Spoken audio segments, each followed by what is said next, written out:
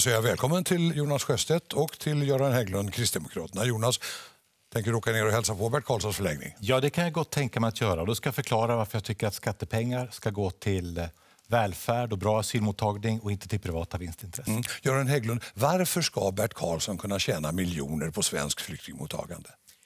Det som för mig är det centrala, det är kvaliteten på flyktingmottagning, på skolverksamhet, på vårdverksamhet, på äldreboenden. Det är kvaliteten som vi ska mäta.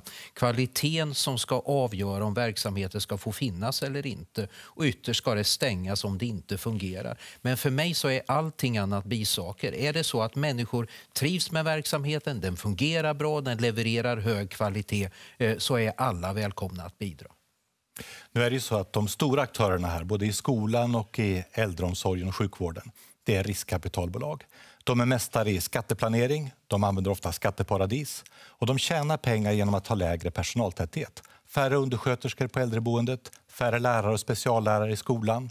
Man har och mer otrygga anställningsvillkor. Och det skapar en väldig osäkerhet. I ditt eget hemlän, Jönköping, så gick flera skolor i konkurs förra året.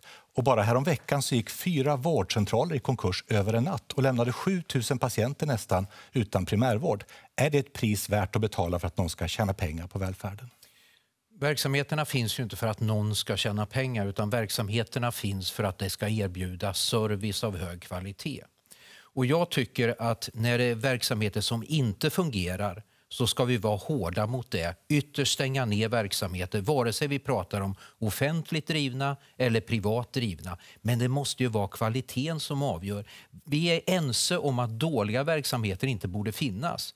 Men varför vill du stänga väl fungerande verksamheter som människor väljer, som människor uppskattar, som människor gärna vill gå till, Jonas Sjöstedt? Det är för mig helt obegripligt.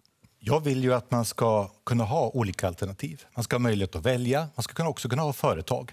Men man ska inte kunna lyfta ut de pengar som är till för utbildning och hälsovård och stoppa dem i egen ficka.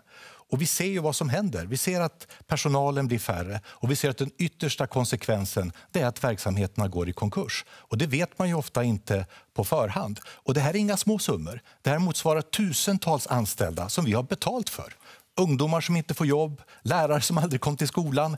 Och jag tror att vi ska inse att marknaden är bra på många håll, men den är inte bra när man ska ta hand om äldre och småbarn. Men, men här blir det ju så att du säger att man ska få välja, men det är ju som att säga att man är för bilen, men man är emot motorer.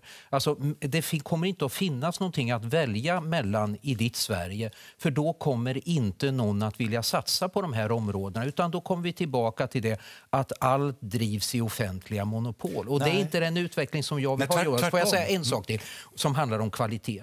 Alltså när man mäter till exempel äldreomsorgen i Sverige så säger Socialstyrelsen att det är lika bra vare sig det drivs privat och offentligt. Och om man skulle nu säga att något enstaka exempel på det privata området inte fungerar så finns det massor av exempel också på det offentliga området. Men det vill ju inte stänga ner.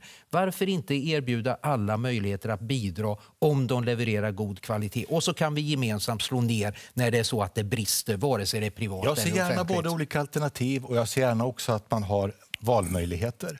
Men problemet är att du får de här jättarna som bara har ett intresse. Fort in, skära ner på personaltätheten, köpa och sälja och sen iväg. Men när man tar hand om äldre människor då måste man ha långsiktighet och ett intresse för verksamheten. Och därför är det mycket bättre inflytande till personalen, ha högre personaltäthet, se till att man får utbildning som man behöver. Men det gör inte de här företagen ofta, därför att de tjänar pengar på att pressa ner villkoren. Jonas, då blir välfärden ja. mindre pålitlig. Jonas, en sista fråga från mig. Mm.